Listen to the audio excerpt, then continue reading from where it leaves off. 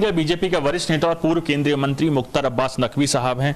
Sir Lok Sabha में LOP Rahul Gandhi Manipur गए थे। मणिपुर के बाद वापस आए उन्होंने प्रधानमंत्री को लेटर लिखा जिसमें उन्होंने अनुरोध किया पीएम मणिपुर जाए। कैसे देखते देखो हैं इनको शतक का तो टोटा है शरारत का लोटा लेके घूम रहे हैं। अभी शतक इनकी पूरी नहीं हुई है, ये बात सही है कि नंबर के हिसाब से एलओपी बन गए हैं।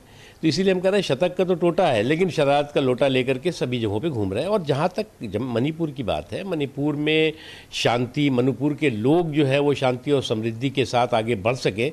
इसके प्रति सभी लोग संवेदनशील हैं।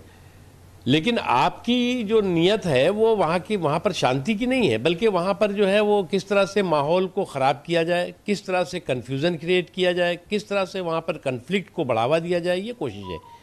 लेकिन उसमें सफल नहीं होंगे। जहाँ तक मणिपुर का सवाल है मणिपुर के बारे में सरकार संवेदनशील है और स्पष्ट कर कह चुकी है। खुद गृह मंत्री जी ने कहा है प्राइम मिनिस्टर साहब ने कहा है कि वहाँ के लोगों की सुरक्षा और वहाँ पर सुरक्षा और वहाँ पर शांति हमारी प्राथमिकता अगर बात की जाए जम्मू कश्मीर में हालिया दिनों में देखा गया घटनाक्रम आतंकवादी बड़ा है। कल भी एक हमला हुआ जिसमें पाँच जवानों ने सर्वोच्च बलिदान दिया। कैसे देखिए इस तरह के कायराना हरकत करने वाले चाहे आतंकवादी हों और चाहे उनके आका हों उनको उसका मुँह तोड़ जवाब मिलेगा सूद ब्याज के साथ जवाब मिलेगा।